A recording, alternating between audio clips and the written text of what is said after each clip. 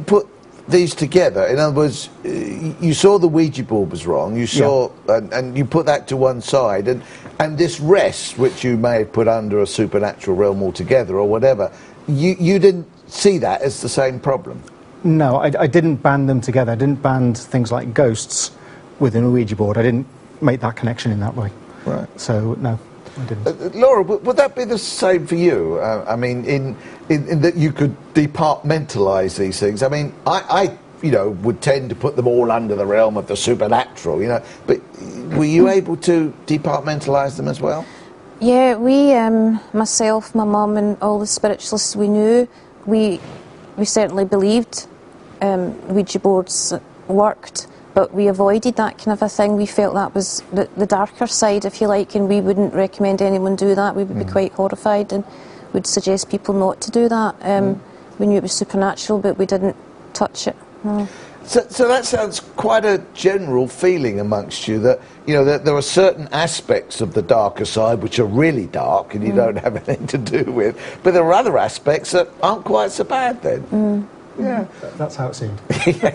So, what, what did you find out? You were buying these books, you were watching the furniture move around your room, you were listening to these steps going up, up, up, up and down the stairs. What, where, where did that lead you to, and, and how? What was that journey like? Well, it led me in- into an, into an interest of anything to do with the paranormal. I didn't make the connection when I was reading things about tarot cards. I was reading stories about ghost stories and reading things about mediums in books and things like this, and some of the seances that we were talking about. I didn't make that connection that it was evil, that it was wrong. So, to me, it was just something that was part of our world that we didn't see, but it was there. So that, that's what it was.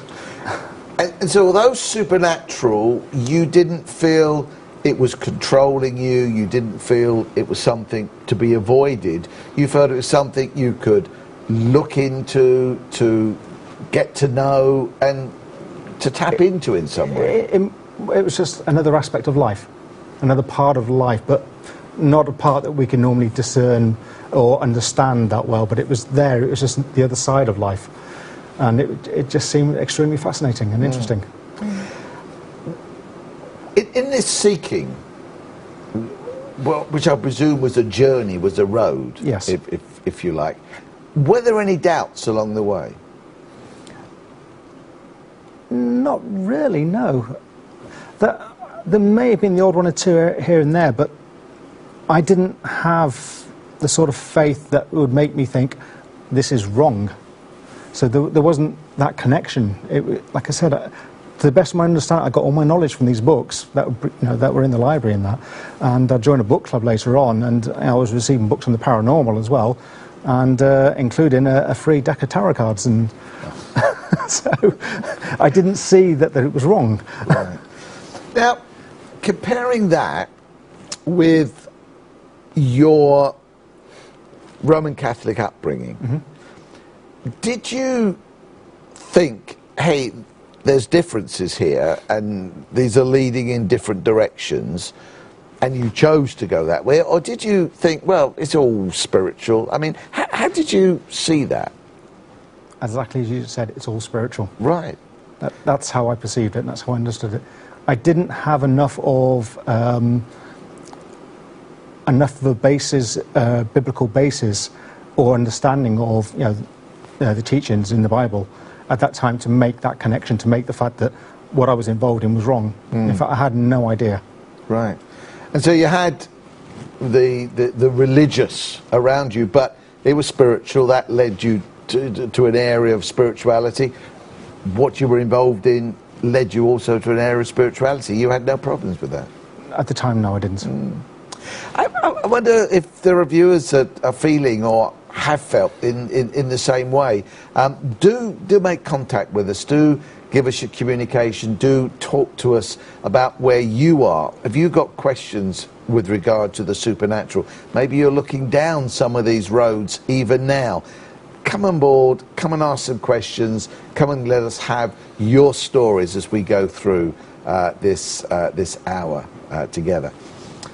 What,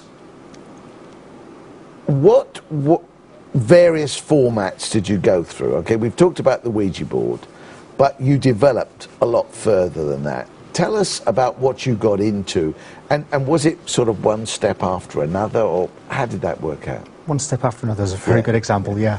It was, first it was an interest in, as I've already mentioned, about ghosts and paranormal, and in general, uh, spiritualism, which I didn't realise the term at the time. Um, but the first real step was when I joined a paranormal book club and I received these tarot cards. That's where my interest really perked, because from there I was also reading in books about spiritualist churches and psychic developments and things like this. And uh, that made me look into that. And I started attending spiritualist churches around about the age of 20.